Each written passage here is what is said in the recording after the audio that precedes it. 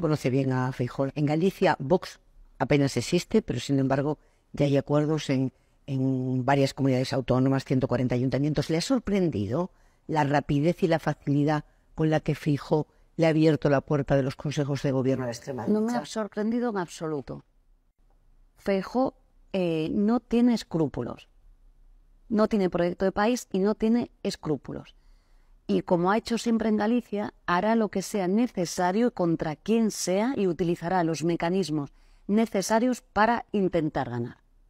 Un dirigente sin escrúpulos es peligrosísimo. Y en política no vale todo. Alberto Núñez Feijóo es un radical en materia económica. Yo sé que España piensa que es un hombre moderado. No lo es en absoluto. No lo es en absoluto.